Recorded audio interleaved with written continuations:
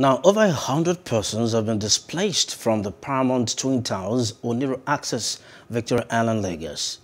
Men of the police force alongside the Lagos State Task Force set ablaze over 40 shanties in the community. Our correspondent Paul George was there.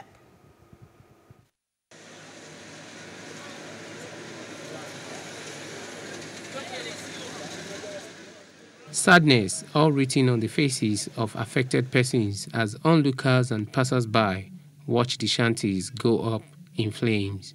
Nigerians from different parts of the country have been residing here over the years, but the government says their stay here is illegal.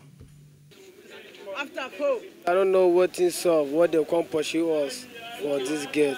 Nothing, what we feel survive to chop. One of the shanty residents claims a man known as Seriki has been collecting money from them as a fee for their stay. He speaks alongside another. The task force arrived at about 2.30 a.m. and started the demolition. Some persons had just paid their rent. They also came last year and demolished all our shelters. I am only with the clothes I am wearing right now.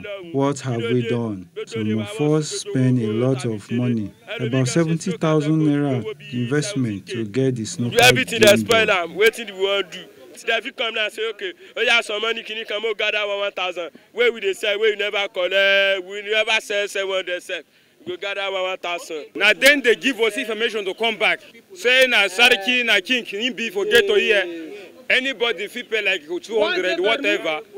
One day Barnu. The police representative at the scene refuses to speak on camera, but he says the shanties have become the den of criminals and have become a threat to the community.